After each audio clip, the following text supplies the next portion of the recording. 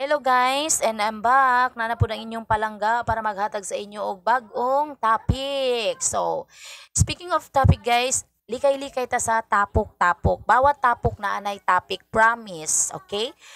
Kung ulahi ka sa tapok, late ka sa topic. Kung wala ka sa tapok, malamang ikaw ang topic. Zile, zile, zile, zile.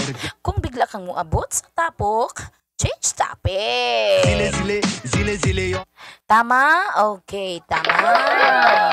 So, ang atong topic karon ay mina ako'y bagong compose nga kanta, revival song ni siya, titled Pusong Bato, pero hubaro na to sa Binisaya. So, ang title ani karon mga marites, mga kamarites, Sakit sa Chismosa. Ay, mugado ka ng chismis. Kay pagkahuman na paglabay sa panahon, pag naay bagong topic, mahupas ra na. Hinaut nga magustuhan ninyo ang akong bagong revival song. Okay. Pagpasensyahan ninyo kay ang mga gamit na to kulang pa ni make up sa inyong host o wala pa. Ma-shoutout din sa akong mga followers diya nga pila ra ka buok. Unta sa makikitaan ni follow mo.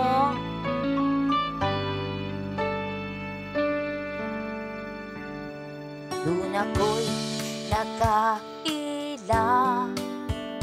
Grabe yung pagkachismosa Di makapuyo og balay.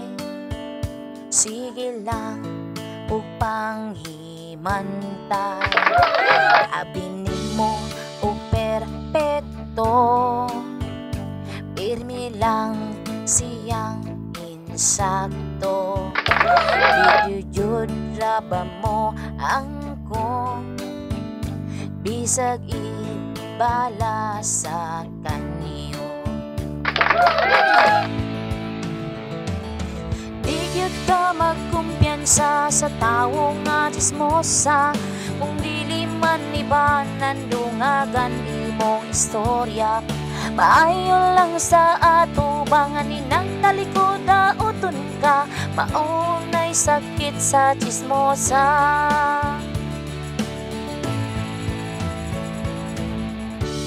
Siya ni mo Isingi si papag-ayo Abing ni mo siya og santo Nga maayong pagkatao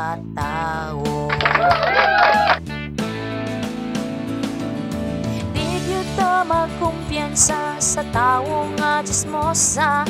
Kung dili man iba nandungagan imong istorya. Maayo lang sa ato bangan inagtalikod uton ka Maunay sakit sa chismosa.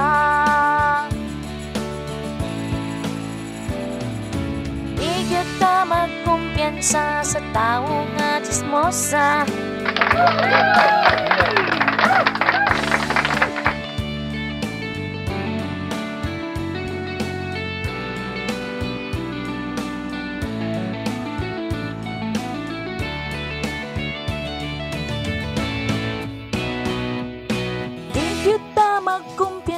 sa tao nga chismosa.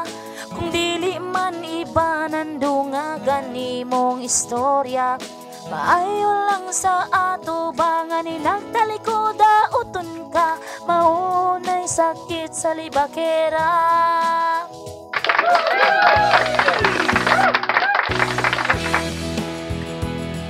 Sa tao nga chismosa ibanan imong istorya. Maayo lang sa ato bangan inagtalikod uton ka Maunay sakit sa libakera. Maunay sakit sa chismosa